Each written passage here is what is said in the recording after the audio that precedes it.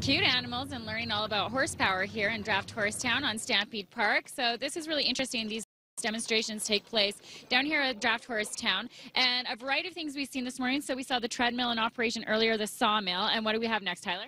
Right here we have an antique water well drilling rig. It's uh, right around 100 years old, brought to us by Pioneer Acres. It's a two-man, two to three-man operation with one horse, and it would take about three to four days to drill a water well.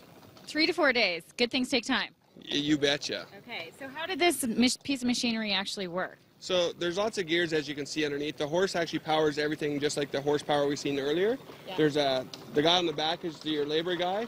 He'll uh, release the winch, which is just a pulley system. Uh-huh. Once they get the winch down, they put the the kelly on, which is like a joint of pipe nowadays. Okay. They put the tongs on, and then as the platform goes around, everything corkscrews into the earth, and then we fill our bucket. Wow. So how much water would be gathered at a time? Well, it would be dirt that you're getting because you're trying to get down to the water to find water for your water well. Right, okay. So that's why it would take that many days. You betcha. And it depends on your, your earth if you had lots of rocks or hard clay. Yeah, absolutely. It looks a little bit like an oil drilling drilling rig these days.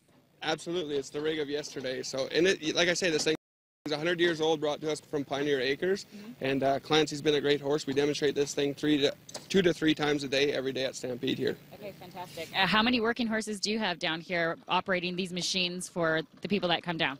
This year at Draft Horse Town, we have uh, 16 draft horses that are all work horses, and uh, they're great with people. So they'd love to see you guys come down here. Yeah, they are great with people. And actually, what we learned a little bit earlier is the bigger the horse, the more calm their demeanor. Absolutely, they're gentle giants of yesterday. Yeah, gentle giants, and uh, that, that's fantastic. You can also come down here, and as we mentioned, the Name the Pony contest, which is happening just around the corner, uh, where Lady just had a pony that was that is three weeks old. Okay, so what's happening now? The dirt extraction. Right now, what Brennan's doing, he's uh, uh, releasing all the dirt and stuff.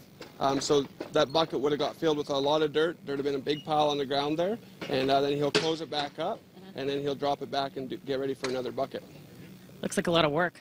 Very labor intensive, you betcha. No kidding. Okay, Draft Horse Town is where we spent the morning. Thank you so much for hosting us, Tyler. Uh, these demonstrations you can see down here, uh, interesting things, educational component of the experience down here at Stampede Park. So you can ride the rides, of course, and you can come on down here and check out some very fine animals as well. Ted Tara? Uh, am I too late to get in on the Name the Pony contest? Yes, what do you think? Tony.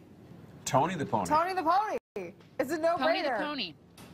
I, I like it. Pony the Pony, and the mom's name is Lady. So Lady and Pony. There you go. Put your entry. I'll put your entry in. Thank you very much.